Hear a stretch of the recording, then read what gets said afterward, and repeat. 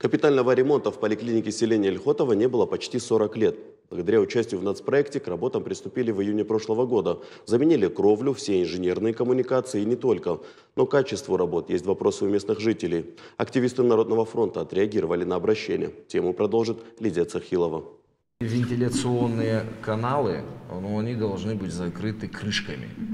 Э, Вот крышек мы сейчас не видим. Из-за их отсутствия влага попадает внутрь здания. Ремонт в поликлинике селения Ильхотова провели капитальный, но качество работ вызывает вопросы. Мембранная кровля не отвечает техническим характеристикам. Активисты Народного фронта осмотрели и кабинеты. Потекло, да?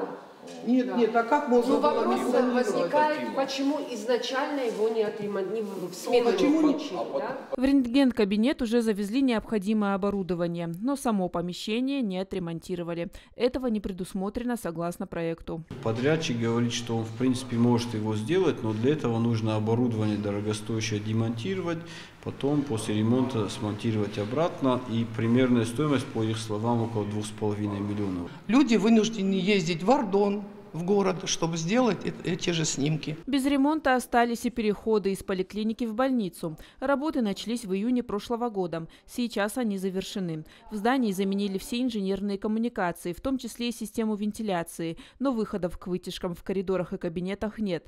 Так, в стоматологическом, где тоже новое оборудование, появилась плесень. Качество работ вызывает вопросы и у местных жителей. Очень много недоделок и в побелке, и вот э, укладки, плитки, вот, которые в кабинетах тоже. Я позавчера еще приезжали, говорю, вы мне скажите, это новая плитка? Ну, плитка, говорит, новая, но она просто плохо уложена. Вот кабинет, допустим, вот глазного врача. Я вот тоже уже считаю себя человек, который уже пожил, и проблема с опорно-двигательной системой. Значит, в одном кабинете меня смотрят, потом врач должен меня сопровождать и пере- перейти и посмотреть дальше там. Мне кажется, что этот ремонт должен был связан так, чтобы людям было удобно, когда они придут на прием к врачу, чтобы создать максимум условий.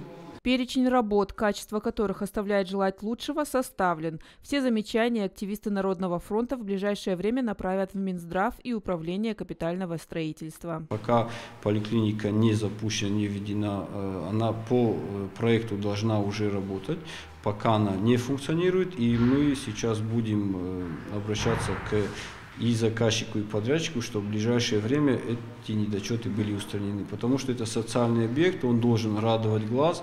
К сожалению, в настоящий момент мы этого не видим. Капитального ремонта в поликлинике не было около 40 лет. Работы проводили благодаря нацпроекту. Выделили 73 миллиона рублей. В ближайшее время в здании полностью обновят мебель, а еще дооснастят медоборудованием. В смену поликлиника будет принимать 300 пациентов.